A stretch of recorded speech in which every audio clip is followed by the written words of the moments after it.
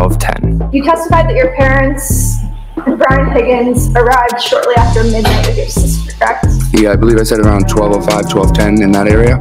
Right around midnight, I would say, maybe 12:05, 12:10 ish. I want to say about after 12, maybe um, 12:10, So sometime around 12:10. sometime around 12:10. Yes. A little before 12, 12-ish. And about how long a car ride is that, generally speaking, from the waterfall to your house? Five minutes, seven minutes. And so about what time was it that you got? sometime between, I'd say five past and 10 past 12, somewhere in that window. And uh, about how long after you got home was, was it that you signed? I'd say within 10 minutes.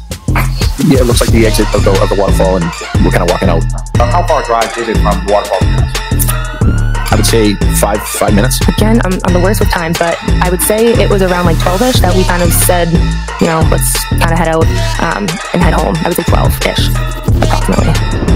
Now, how how long a drive is that from, from the waterfall to, to Bellevue? I would say like five or six minutes, give or take. From the time that you walked in and bumped into Colin sort of before you were at home, um, how long was it that he was in the home while you were? I would say minutes. I would probably say 11:30, 11:45. Do you have any idea? I believe it's me. If if you're walking in the door at twelve nineteen, it takes you maybe a minute to get upstairs, About a minute. and then you walk up two flights of stairs, right? Probably ran up the stairs because I was cold. Oh, all right, so you're getting up there around twelve twenty or so, correct? Roughly, yeah. And you believe that you dozed off about fifteen minutes later, which would have made it about twelve thirty-five? Somewhere around there. Now, when you came home, you would agree with me that your son Colin Albert was not correct? Not when I first got home. Uh, and in fact, I think your testimony was that uh, 10 minutes after you got home, he opened the bedroom door. I think that's what I said, yeah. Do you want to stick with that? 12:10. I do not remember. I do not remember.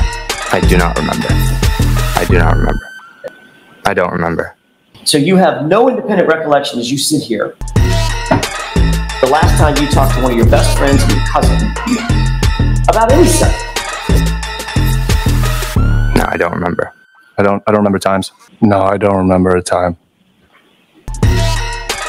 12:10. I really don't know. Well, you're dressed completely differently, so it's probably not the same guy. You would agree with that. Unless I change, I could have changed my shirt. I do that often.